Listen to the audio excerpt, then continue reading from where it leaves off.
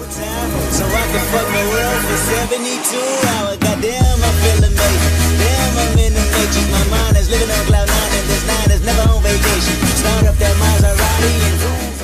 What is up, everybody? Monster Jam Fanatic here, back again with my third ever Spin Master unboxing. So far, I have unboxed four trucks, and that is the new Spin Master Dragon, Purple Jester, Blue Thunder, and Storm Damage. Those are all from the two packs, and today I am unboxing Gravedigger with the chrome wheels and Wildflower. Before I open these, tell me which one out of these two look better and which one was made better. So we have Wildflower and Gravedigger. So let's get these open right now, guys.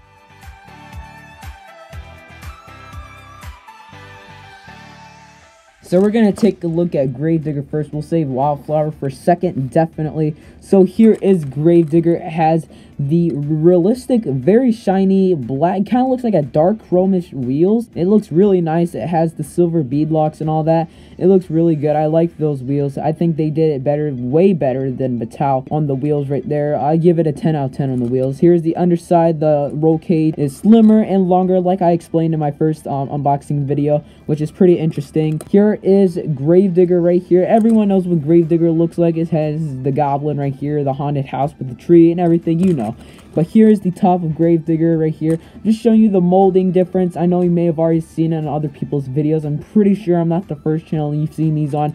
But if you have, then here is what the truck looks like from a distance. You see the molding in general looks pretty good. You can see the roll cage through, and, and you can even see a little guy in there. There's even a guy in the driver's seat for Spin Master, which Mattel never did. That's okay. It looks like the hood is like wider it's like wider. It, I don't know. It's more bold. It looks okay. It looks cool.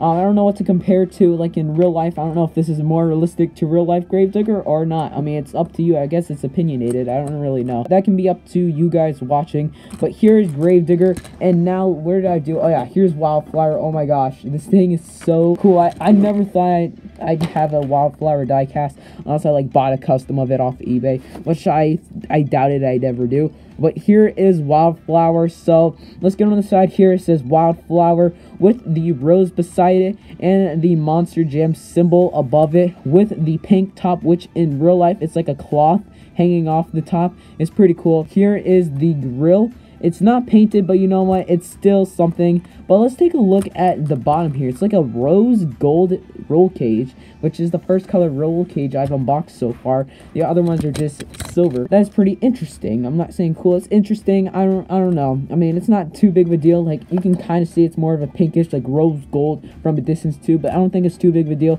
It looks pretty girly. It's still pretty cool.